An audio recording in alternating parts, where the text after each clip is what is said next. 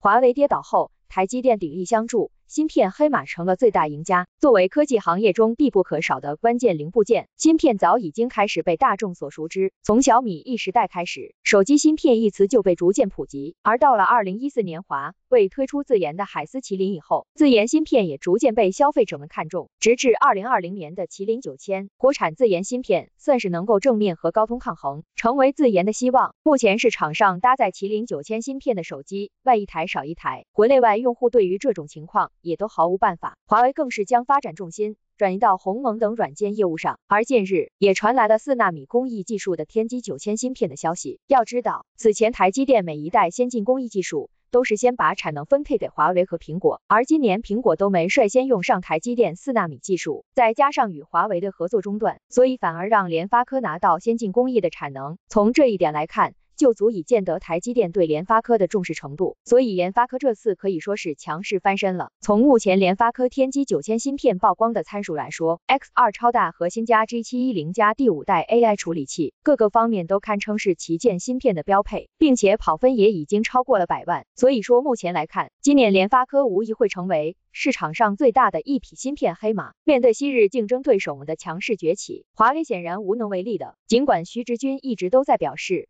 华为会坚持研发芯片不放弃，但不可避免的是，这种环境下的麒麟芯片成长速度肯定不如苹果、高通、联发科等企业，自然也就引发了花粉们的担心。